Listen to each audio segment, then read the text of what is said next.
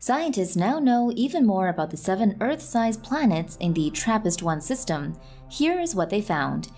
A new international study led by astrophysicist Eric Agol from the University of Washington and involving scientists from the University of Liège has measured the densities of the seven Earth-sized planets around TRAPPIST-1 with extreme precision. Scientists now know more about the densities of these planets than any of the other planets outside our solar system, and this provides an important clue as to their compositions.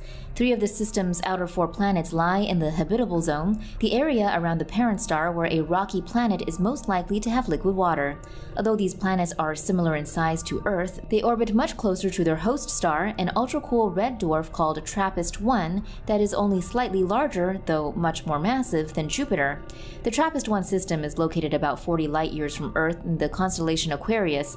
Both the TRAPPIST-1 system and our solar system lie on the Orion spur between the Perseus and Sagittarius arms of our galaxy. The new study indicates that the seven planets are remarkably similar in composition and contain roughly the same proportion of materials such as iron, oxygen, magnesium, and silicon that make up our planet. The study found that the planets are all around 8% less dense than Earth. The authors of the study proposed three hypotheses to explain why the planets are less dense than Earth. One possibility is that, like Mars, the planets have a rocky surface covered in rust, which is iron oxide. Only unlike Mars, which has a core of unoxidized iron, the iron oxide on these planets would be mixed with other elements all the way to the core of the planets, and the core itself may be oxidized iron. A second possibility is that the planets have a rocky surface with an iron-rich core that is smaller than Earth's.